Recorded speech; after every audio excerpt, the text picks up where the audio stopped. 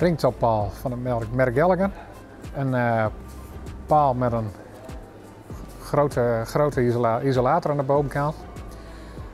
Glasvezel nylon. Dat betekent dat het oer en oer sterk is en zeer sluitvast.